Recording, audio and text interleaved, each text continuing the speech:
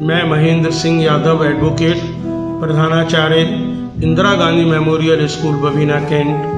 मेरे विद्यालय और विद्यालय परिवार की तरफ़ से गणतंत्र दिवस की सभी देशवासियों के लिए हार्दिक शुभकामनाएँ। धन्यवाद। जय हिंद, जय भारत।